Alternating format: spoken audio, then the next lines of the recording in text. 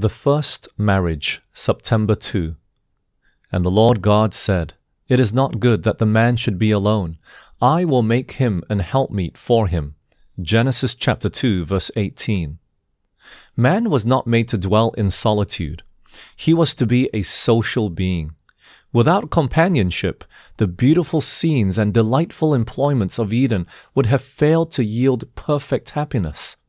Even communion with angels could not have satisfied his desire for sympathy and companionship. There was none of the same nature to love and to be loved. God Himself gave Adam a companion.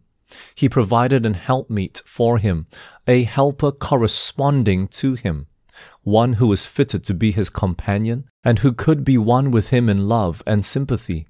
Eve was created from a rib taken from the side of Adam, signifying that she was not to control him as the head, nor to be trampled under his feet as an inferior, but to stand by his side as an equal, to be loved and protected by him. A part of man, bone of his bone, and flesh of his flesh, she was his second self, showing the close union and affectionate attachment that should exist in this relation.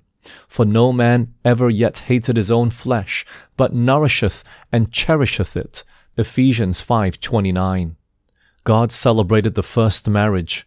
Thus the institution has for its originator the creator of the universe. Marriage is honorable. Hebrews 13:4.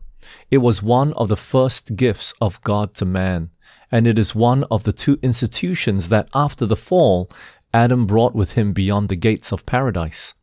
When the divine principles are recognized and obeyed in this relation, marriage is a blessing.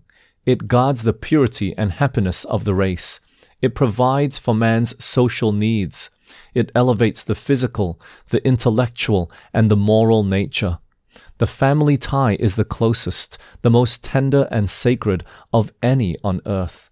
It was designed to be a blessing to mankind and it is a blessing wherever the marriage covenant is entered into intelligently in the fear of God and with due consideration for its responsibilities.